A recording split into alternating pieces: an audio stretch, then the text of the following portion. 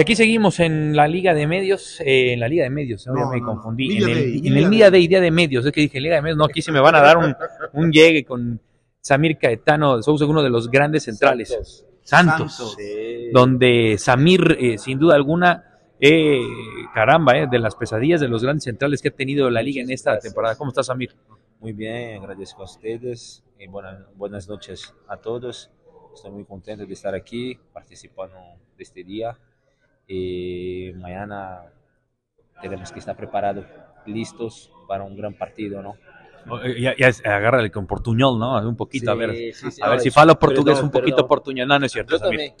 Oye, el, eh, la verdad es que un año tremendo ya con el, con el tema de Tigres. Se, se esperaba que estuvieran en la final. Tú te imaginabas al, al arranque de la temporada, luego cuando viene el famoso tema de los tres técnicos, hoy estar eh, en la gran final del fútbol mexicano contra las Chivas.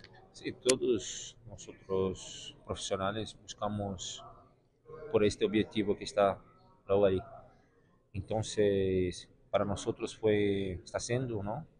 Porque no terminó, está siendo un año muy, muy complicado, con cambios de entrenadores, eh, mentalidades diferentes, de estilos de trabajos diferentes. Entonces, eh, tuvimos que cambiar muchas cosas, pero el objetivo fue siempre lo mismo, que era buscar estes, este, este trofeo. Eh, hace como un mes perdimos la posibilidad de jugar la final de Conca y ahora por nuestro trabajo, esfuerzo, sacrificio, tenemos también la posibilidad ahora de jugar la final.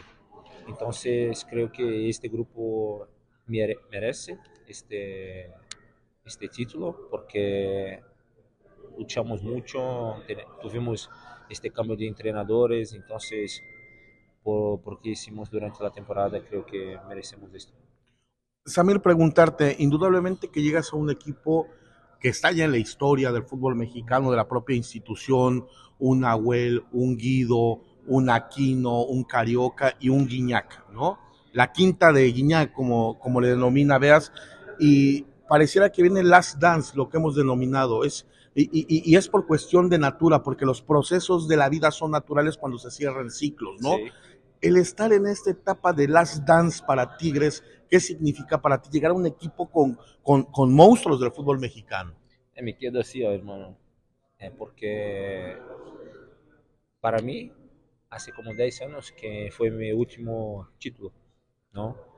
Entonces, Ganaste Copa de Brasil con Flamengo y, Sí, y- y 2013. Carioca, ¿no? Exacto.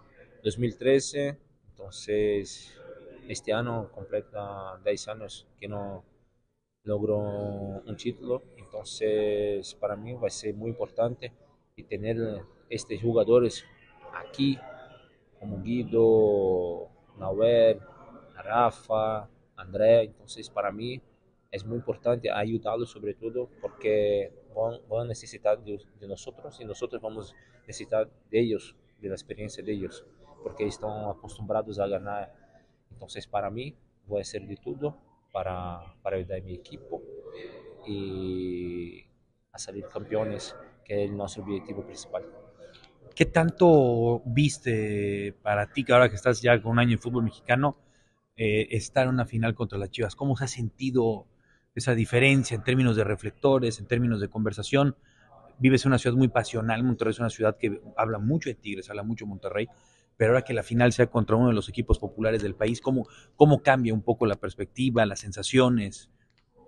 Eh, como dijo antes, este equipo tiene muchos jugadores con mucha experiencia, vivieron y viven mucho este durante muchos años, estoy acostumbrado, entonces creo que nosotros que, que llegamos ahora tenemos que eh, estar juntos, estar cerca de ellos, de ellos para aprender estar acostumbrado a jugar estos partidos.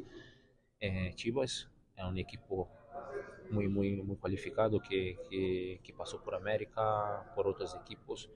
Entonces creo que va a ser un- una disputa muy, muy cualificada entre dos equipos tradicionales de, de México. ¿Es una desventaja que juegue con puros mexicanos para ti? En una liga, tú incluso como un brasileño todoterreno, ¿Cómo no, no entendí? que es una desventaja, tú percibes que el Guadalajara juegue, o es una ventaja para ustedes juegue con puros mexicanos en la cancha? No, no creo, porque Tigres ganó muchos títulos sin estar con un equipo 100% mexicano.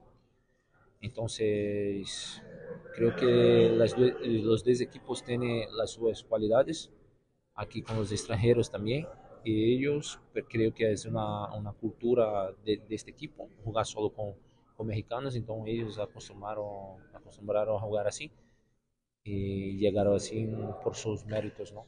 Entonces, creo que mañana va a ser un partido muy, muy, muy importante para nosotros. Muchas gracias, Amir. ¿eh? Todo el éxito. De nada. Obrigado. Obrigado. Obrigado. De nada. Gracias.